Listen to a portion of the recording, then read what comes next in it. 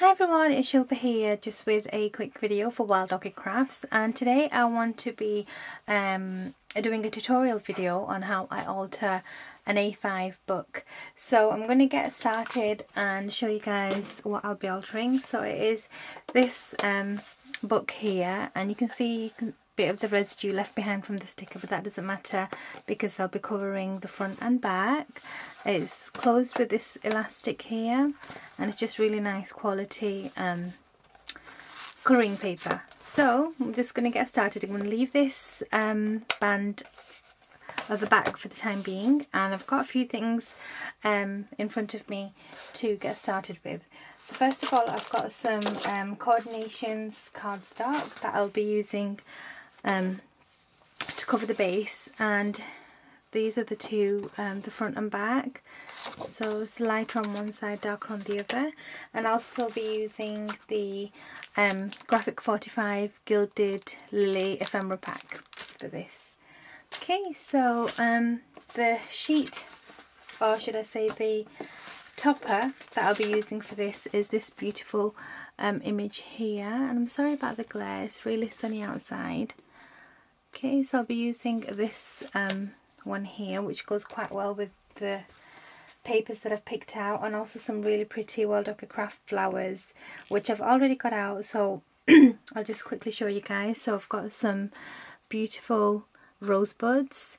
I've also got some lilies. You can see there and I'll give you all the codes below and I've got these really cute fabric flowers and also some trellis roses and cabochon here which I'm sure I'll find a use for on this particular project. So first thing I want to do is decide what side I want and I think I'm going to go for the textured side of this um, paper. I'm just going to quickly rough up the um, edges on this, just going to use my scissors and give it a quick distressing, not much, just a bit. I'm just using my scissors for the.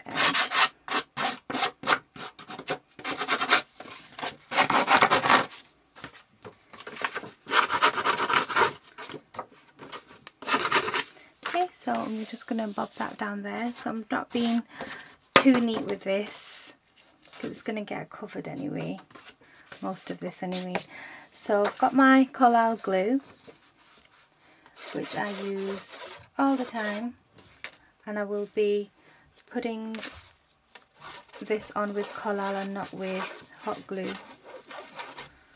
Okay, so that's going to go on the front like so.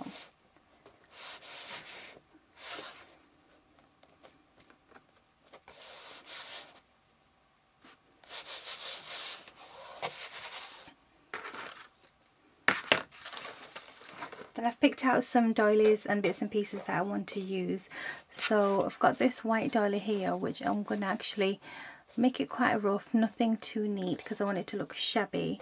So this is where the hot glue comes in. And I'm just going to randomly put glue. And I'm going to try to scrunch this up.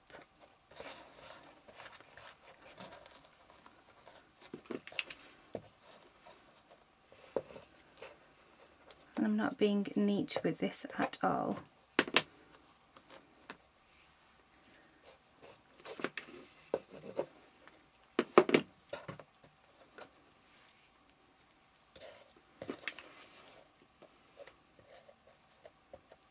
so and because this is on paper I'm going to back it with some you can put your fold pads on there but I'm going to put some waste um, cardboard so it gives it a bit more sturdiness. And I'll put this on with Collall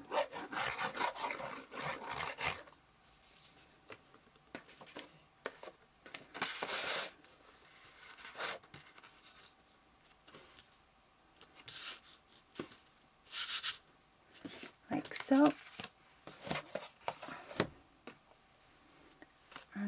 that's gonna go. So let's give it some firmness there. And I'm also going to put bring in some pink things. So I've got this pink doily here which I'm going to have in this corner.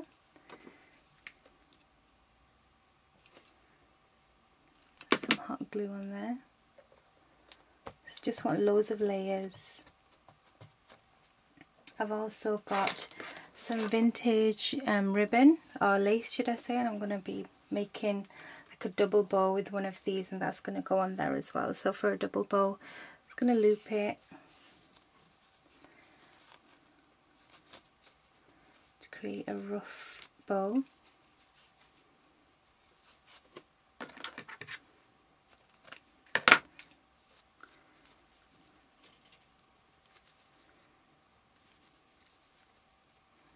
That creates a really nice rough vintage looking bow.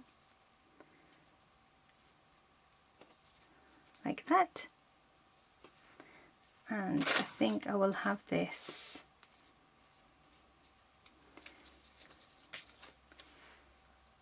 Okay I'll put that on at the end. I'm going to actually start putting the flowers down. Okay so first of all I'm going to put my main image. Lots of glue.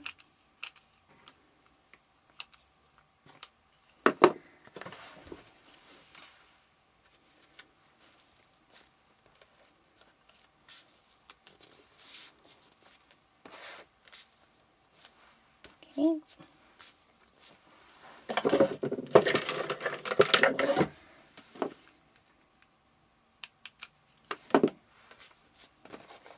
That's how it's looking so far and then I've also got some extra pieces of lace from my little stash of you know bits and pieces that we all keep so I think I'm gonna probably drape this there just to give it some extra lacy look. Put that there. And then again it's a bit more pink as well so it looks nice. Just bring this in here. Stick it down. Put that there. So it doesn't go anywhere.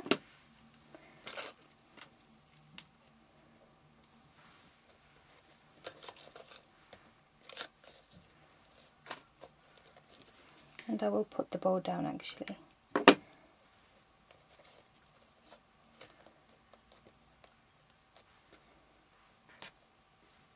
and I'm going to stick these little bits so I know they're not going to come in front of the image even when you handle it so just snip the corners made them look all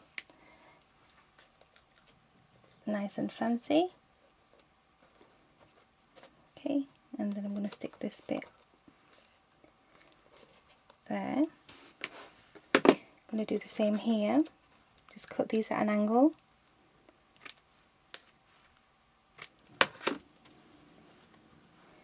And again I'm just going to give some dimension with them. Stick that there. And I think I'm going to just stick this one just there. Okay. So that's how it's looking already. Really cute. Okay onto my flowers. And I think I want my flowers kind of up this corner here because there's quite a lot going there. Or I could have it there at the top and bring it around. So I'm going to get started with my flowers. Take the backs off my roses. Actually I will I think I will have it coming down from that corner so I'll start off with my biggest flower which is this trellis one. Put it there. I've also got this cabochon that I want to use which is really really nice cabochon and I think I'm going to tuck it in somewhere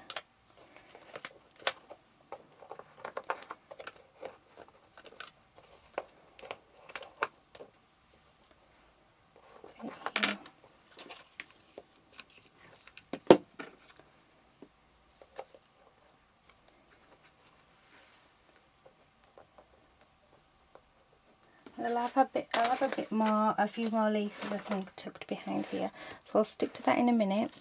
And then I'm going to go get my beautiful um, mixed lily flowers from this pack. And MKX197 is the code. So I've got the blues and the pinks from this one.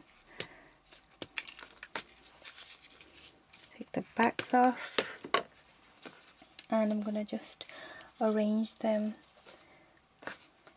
nicely around that rose. get a stick in. And then I'm going to stick this as well.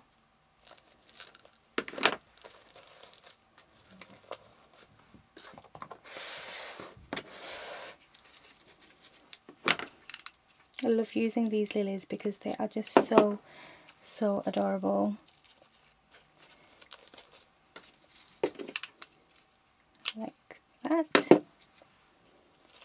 that and then in between these lilies I want to add these stunning rosebuds. And this is from this mix pack here which is GST 014 mixed pink tone rosebuds. And I like using odd numbers per cluster. So there's three here. And I'm going to just do this and put them behind the lilies. So just going to get some space here.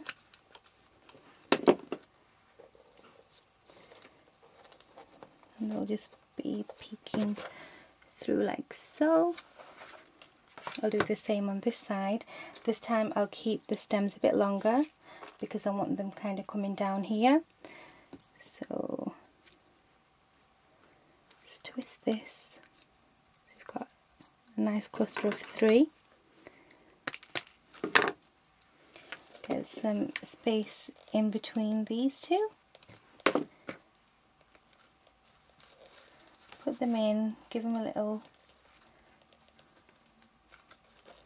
shape on the stems and that's how that corner is looking. And then I've got these beautiful fabric flowers that I want to use. And I just think they're just so adorable and they're from the Fabric Blossom Flowers. And this is the code MKX309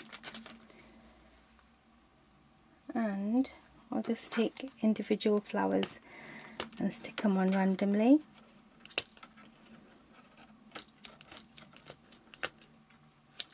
Okay. So I think I want a bit more filler up here so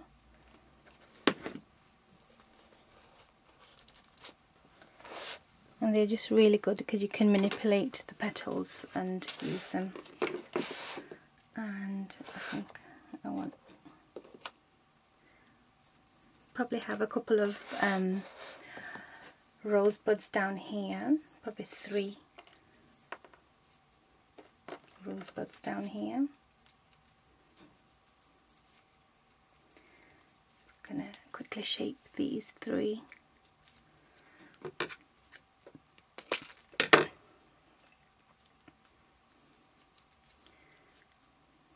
You don't have to be too careful with how you do it. Just wiggle them about.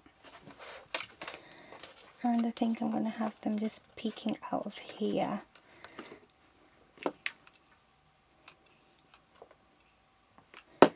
Plenty of glue. Like so. I'm going to have one more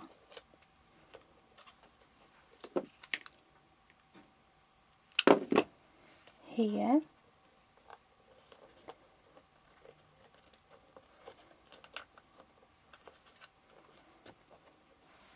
And I think I want some maybe um, I'm going to take this trellis and peel back a couple of the petals make it a bit smaller.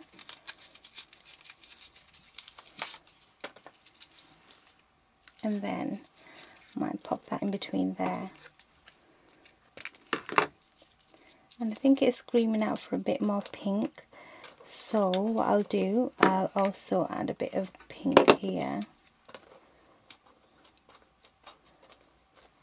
and I think what I'll do is add Um, just thinking. Another little lily, and this is Creban Pink, which goes quite well with all of the things that's going on. Just thinking where to put it. I think I'll have it just there.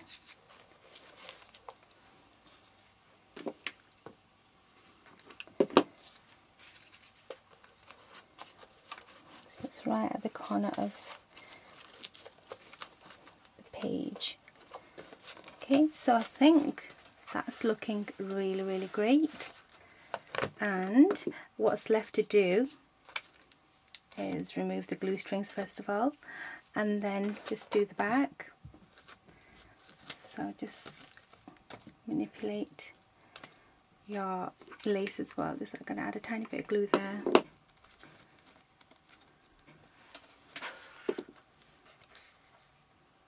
That's how that's looking.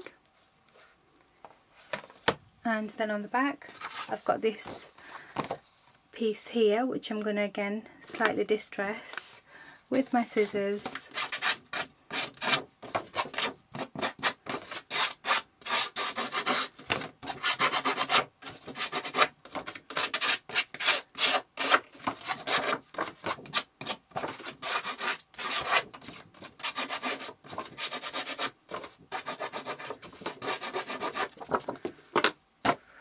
and put on the back. So I'm just going to turn it. And this I will sort out in one second after I put this down. So let's just sort this bit out first.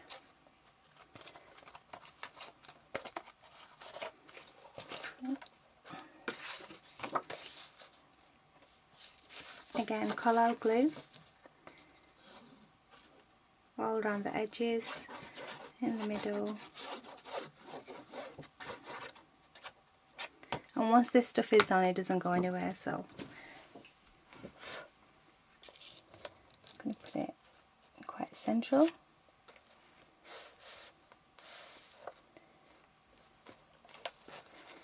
Okay and then where this band comes round just going to stay on top of the flowers.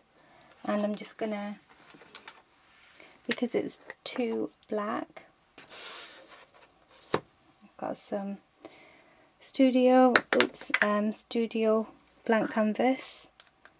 And I'm just gonna distress this as well. So it goes well with the shabby kind of a look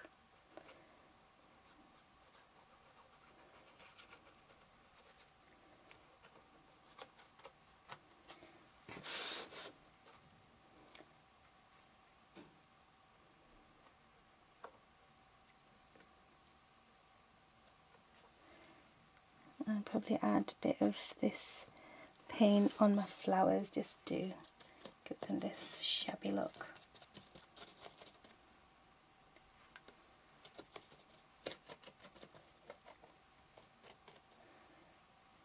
And on these green stems. Okay, so I think that's it. My beautiful altered drawing book and this is how it looks. So don't forget all the codes will be below for you guys. So you can go and check them out below. And definitely check out Wild Orchid Crafts because I know at the moment there's a lot of new things in so you don't want to miss out on those. And um, hope you enjoy this video. So there's the back and this is the front again. So I hope you enjoy this video. Let me know what you guys think and um, I'll see you again very soon. Take care. Bye.